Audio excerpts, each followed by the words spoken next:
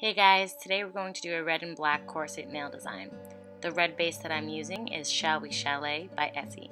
Starting out by freehanding two black lines in the middle of my nail in a V shape with black acrylic paint and then filling them in on the edges. The brush that I'm using here is from the Winstonia Store Glam Gadgets set.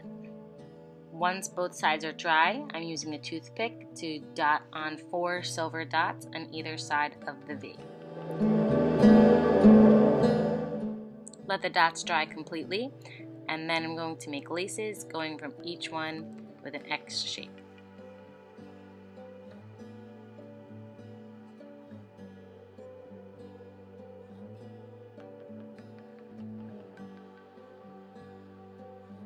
Wait a few minutes for everything to dry and then add top coat. I'm using HK Girl by Glisten and Glow.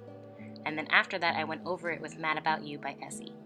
If you recreate this look, please tag Nailstorming Inspired on Instagram so I can see.